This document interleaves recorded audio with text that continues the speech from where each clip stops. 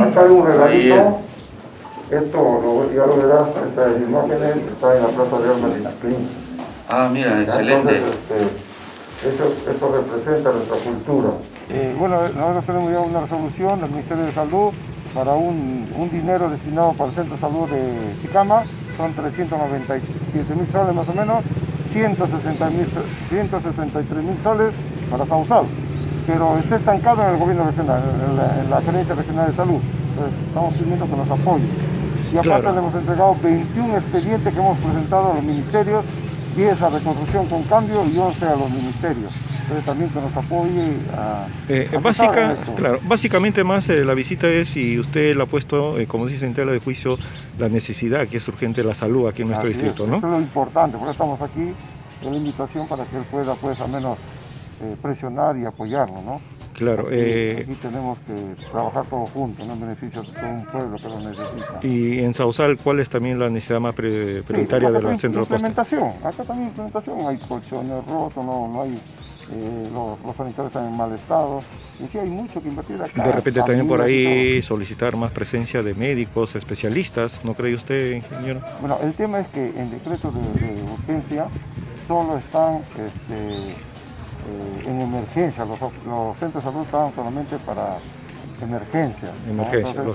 no están todos los médicos, porque hay muchos que ya tienen más de 60 años y tienen que estar pues este, eh, en sus casas. ¿no? El día de hoy hemos venido al llamado del alcalde eh, distrital, así como los, el resto de autoridades y también el personal de salud que está el día de hoy acá preocupados por el tema de estos dos centros de salud que tenemos, eh, el de Sausal y el de acá del centro materno en donde eh, hemos podido ver que ya existe un presupuesto para poder equipar estos dos centros de salud.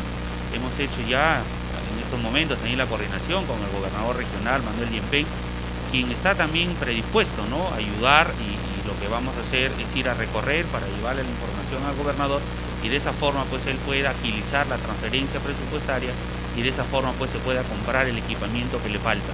Si bien es cierto, eh, va a faltar dinero para cubrir todas las necesidades de la salud pública en nuestro país, en nuestra región, en nuestro distrito, pero creo que mientras vamos este, contribuyendo con algunos presupuestos del organismo público para ir eh, cerrando y para ir comprando algunos eh, equipos que se necesitan, creo que es importante para ayudar y de esta forma contribuir a la salud pública, ¿no? sobre todo de acá de Chicama. Eh, congresista, usted habló con el presidente regional dado las, todas las, eh, las, estadísticas y lamentablemente este proyecto o esta ejecución de dinero está entrampado. Eh, se tendrá que investigar usted como congresista y dar la solución inmediata para el distrito Chicán. Sí, como le digo, acabo de conversar en estos momentos con el gobernador regional y él tiene la predisposición de contribuir y apoyar y destrabar ¿no? este presupuesto en favor del de distrito de Chicama. ¿no? En los proyectos que el alcalde lo está haciendo llegar en estos momentos, ¿En qué forma ustedes como padres de la patria van a apoyarnos? Mira, nosotros tenemos tres funciones fundamentales. La de fiscalización, que es ver que los recursos del Estado deben de gastarse en lo, para lo cual ha sido destinado en la dación de leyes, en la promulgación de leyes, la presentación de proyectos de leyes. Como ustedes ya saben, e, este Congreso ha venido aprobando varias leyes en favor de la población. Hemos aprobado el tema de la, de de la AFP, venimos aprobando y trabajando ya la reforma integral de lo que es el Sistema Nacional de Pensiones. A, ayer también se ha, eh, se ha a, aprobado importantes proyectos, como por ejemplo la creación de una oficina de uno para poder traer ayuda humanitaria aquí en nuestro país y nosotros como congresistas también ya vamos a gestionar la creación de nuevas embajadas para con la finalidad de traer más ayuda humanitaria a nuestro país y sobre todo nuestro departamento de la libertad. Y la otra parte es el tema de la gestión. La gestión significa salir a los diferentes distritos, caseríos, para poder coordinar con sus autoridades y ver qué necesidades tiene nuestra población. Y nosotros ser el puente, ser el interlocutor entre las necesidades que tiene el pueblo a través de sus autoridades, que son los alcaldes distritales, provinciales y gobernadores regionales, y coordinar con los diferentes ministerios y si es necesario con el mismo presidente de la República y llevarle, llevarle la problemática y decirle, señor presidente, señor ministro, en el pueblo de Chicama se necesita tal y tal proyecto, se necesita tal y cual, eh, apoyo para que este pueblo pues surja, para que este pueblo pueda avanzar, así como el resto de pueblos de nuestro departamento y nuestro país. Ese es el trabajo que tenemos que hacer nosotros como congresistas, gestionar. Si bien es cierto, nosotros no manejamos presupuesto para ejecutar obras, pero sí podemos contribuir, sí podemos ayudar, podemos canalizar para que los diferentes ministerios miren y vean a Chicama la necesidad que tiene.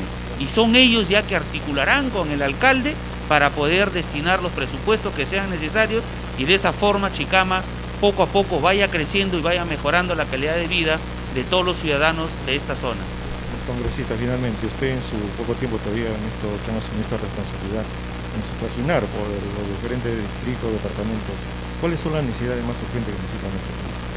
Mira, nuestro país lo que necesita es mayor proyección económica, necesitamos mayor inversión. Nosotros, como en tu casa, en cualquier familia, para poder resolver las necesidades de educación, de salud, de transporte, ¿qué es lo que necesitamos? Necesitamos dinero. Entonces nosotros tenemos que tener un pensamiento de poder traer mayores inversiones en nuestro país. Al traer mayores inversiones, al traer dinero, vamos a generar miles de puestos de trabajo. Al generar miles de puestos de trabajo, la persona, el padre de familia que va a tener un trabajo, va a poder darle educación, va a poder darle salud, va a poder darle vivienda, va a poder darle una mejor calidad de vida a toda su familia.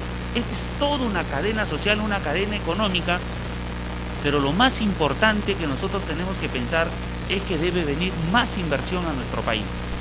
Bueno, este congresista, eh, los eh, compromisos usted el día de hoy con el alcalde del distrito de Chicama. Sí, el compromiso con el alcalde del distrito de Chicama y sobre todo con toda la población a quien conozco muchas personas que viven aquí en, en Chicama, con quien hemos compartido muchos años de vida desde los jóvenes y creo que el compromiso es con el pueblo y con la autoridad que representa el señor alcalde, ¿no?